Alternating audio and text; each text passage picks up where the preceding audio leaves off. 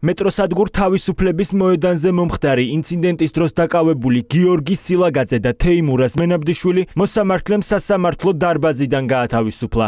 ადმინისტრაციული წესით დაკავებულები თავს უდანაშაულოდ მიიჩნევენ. სასამართლოს ხდომის დასრულების შემდეგ გიორგი სილაგაძემ ჟურნალისტებს განუცხადა, რომ სამართალდამცავი ორგანოების მიმართ მისი მხრიდან არანაირი მაპროვოცირებელი ქმედება არ ყოფილა.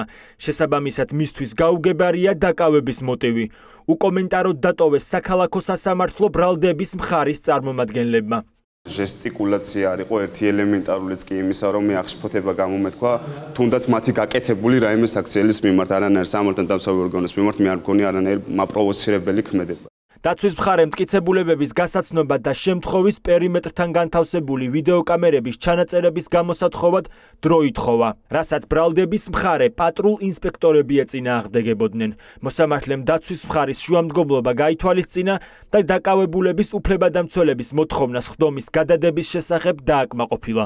არსებობს მოწმე შამუგია, რომელმაც არ დაიშურა და ეს მოქალაქეობრივ ვალდებულება შეასრულა და საჯარო თუხტი მას მადლობას რომ ყველა მოქალაქემ ასე უნდა მოიქცეს რომ ეს ხვალ პრობლემა და არ იქცეს ესეთი მარტივი რაღაცა დაკავების და არ იქცეს ზეწოლის და ძალადობის იარაღად ხალხი. გარდა ამისა ის დაზიანებები რომელიც ჩემი დასვის ქვეშ ყოფ პირს ჰქონდა ის გამოვითხოვე და წარმოუდგე სასამართლო პროცესზე და ამ ხის მანძილზე მე არ ვიცი კიდევ შინაგან საქმეთა სამინისტრო და რა მასალებს მოვიფიქრებ და გამოვთხოვ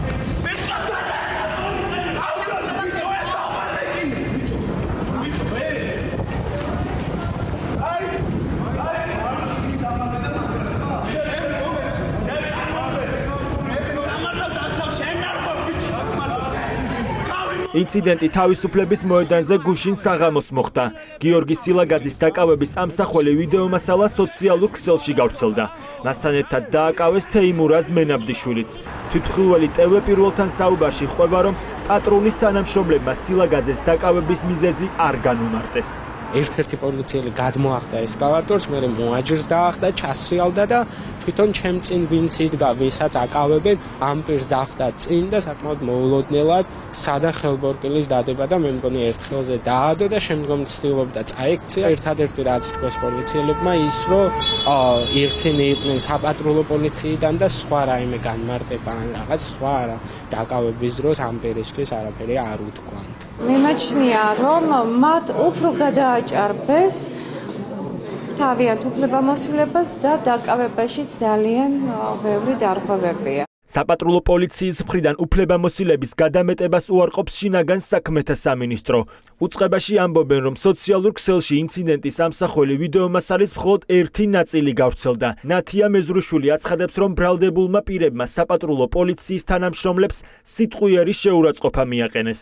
ორი პირი 1992 და 1982 წელს დაბადებული პირები, რომლებსაც არანაირი კავშირი ახალგაზრდების შეჩერების პროცესთან არ ქონიათ, გამოესარჩნენ პოლიციის მიერ კანონიერად შეჩენებულ ახალგაზრდებს, გააპროტესტეს პოლიციელთა კანონიერი ქმედებები საპატრულო პოლიციის თანამშრომლების მიმართ გამოიჩინეს აგრესია, გადაიფურთხეს და მათ მიაყენეს სიტყვიერი შეურაცხყოფა. ინციდენტს შეისწავლის სახალხო დამცველის აპარატიც. ნინო ლომჯარიას განცხადებით, უნდა დაზუსტდეს თუ რას გულისხმობს შინაგან საქმეთა სამინისტრო წვრილმან ხულიგნობასა და წინააღმდეგობის გაწევაში. ომბუდსმენის აპარატში აცხადებენ, რომ გიორგი სილაგაძეს დაკავების შემდეგ სხეულზე დაზიანებები აღენიშნებოდა.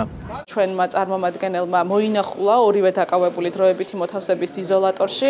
ამ ეტაპისთვის როგორც წარმომადგენელი აღნიშნავს ერთ-ერთ ზედაპირულად აღენიშნება დაზიანებები, რაც როგორც მისი განცხადებით მას მიეყენა დაკავების დროს, ჩვენთვის მნიშვნელოვანია პასუხი გაეცა შეკითხვებს, თუ რაში გამოიხატებოდა კონკრეტულად წვრილმანი ხულიგნობა ან პოლიციის მიმართ დაუმორჩილებლობა, ამიტომ რა თქმა უნდა ამ საკითხსაც ჩვენ შევისწავლით საქმის არსებითი განხილვა 2 თებერვალს დაიწყება. მომხდართან დაკავშირებით გამოძიება ადმინისტრაციულ სამართალდარღვევათა კოდექსის 166 და 173 მუხლებით მიმდინარეობს, რაც წვრილმან ხულიგნობასა და პოლიციისადმი დაუმორჩილებლობას გულისხმობს.